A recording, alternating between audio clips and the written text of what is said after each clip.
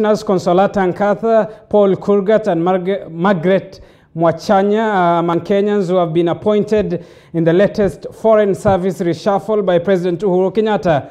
Nkatha, the former IEBC vice chair, has been picked as the deputy head of mission in Rome, Italy, while her ex-colleague Paul Kurgat and Margaret Mwachanya will occupy similar positions in Moscow, Russia, and Islamabad, Pakistan, respectively.